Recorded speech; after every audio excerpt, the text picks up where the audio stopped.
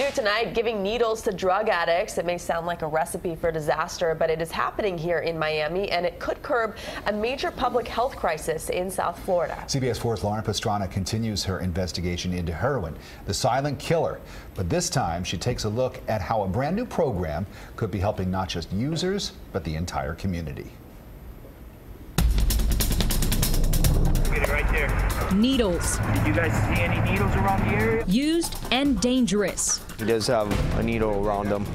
We all like needles. Fill South Florida streets.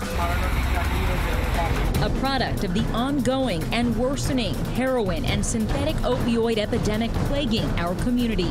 There's a needle right there. Okay. Wait, relax, relax. CBS 4 first shared these shocking images last fall. Our ride along revealed first responders answering call after call of reported heroin overdoses. What happened? You okay? What'd you do? Where's the heroin? The use of powerful synthetics like fentanyl and carfentanil, strong enough to tranquilize an elephant, is also on the rise. Florida is, is being ravaged by opioids. The needles used to inject the potentially lethal substances are discarded in our streets and parks, or used again and again, increasing the risk of spreading diseases. But the work happening here in these repurposed shipping containers in Miami could help clean up the community and save lives at the same time. Dr. Hansel Tooks is a public health doctor at Jackson Memorial Hospital. While he was still a med student at the University of Miami, he decided to research the concept of a needle exchange and how it could work in South Florida. We found eight times the number of syringes on the streets of Miami over 300. It took years for the UN backed legislation to pass, paving the way for the IDEA exchange, the Infectious Disease Elimination Act. After four years of blood, sweat, and tears, we finally passed the legislation. A lot changed in that time, though. The nation was reeling with a heroin epidemic, and Miami was not spared. Here's how it works people can bring in used needles and get a new, clean one in return.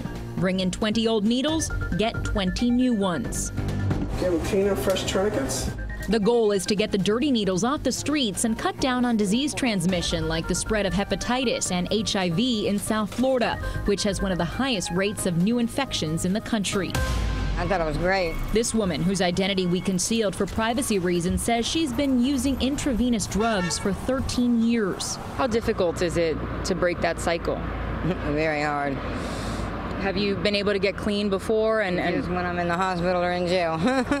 this day marked her third visit to the exchange. Cuts down on uh, like uh, diseases, hepatitis C and AIDS, by getting new needles and not having to pick them up off the ground if you don't have money to buy one. On any given day here at the Idea Exchange, these shelves in the room behind me can be filled with up to 10,000 brand new needles. Now, that may sound like a lot, but people aren't just bringing in one used needle. I'm told one person once brought in 400. This is a, a, program that's kind of hard to swallow for a lot of people. you know, they think that the needle exchange is making people inject, and it's not. It's helping people stay healthy. The exchange is a pilot program, and Florida statute prohibits it from being funded with state, county, or municipal dollars.